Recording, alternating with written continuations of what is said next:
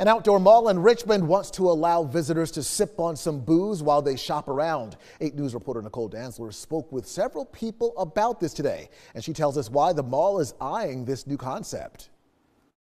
Well, instead of finishing drinks at the dinner table, shoppers could soon be able to take their alcohol with them around Stony Point Fashion Park. Stony Point Fashion Park wants to pop the cork on a new proposition shopping under the influence. The outdoor mall applied for a commercial lifestyle center license that would allow people who buy alcoholic beverages from restaurants to drink them in public areas. Participating restaurants would have to sell the drinks in to go cups with the establishment's names or logos. But Ann Buford, who lives nearby, says alcohol and shopping aren't a good mix. I think there's a place and time for everything, and drinking should be done at a table with a meal. People wouldn't be allowed to take the alcoholic drinks outside of mall property or into the parking lot. The owners of the mall hoping this could give their entertainment venues a boost and their restaurants can take a bigger bite out of the shopping mall experience. Some people I've talked to off camera say they would visit more often if they had this open container program in place, but Buford disagrees. I'm absolutely against it. I don't think that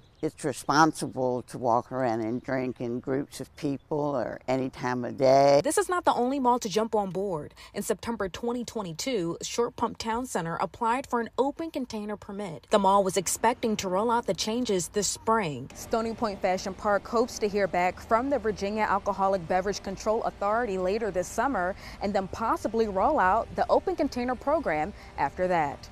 In Richmond, Nicole Dantzler, 8 News.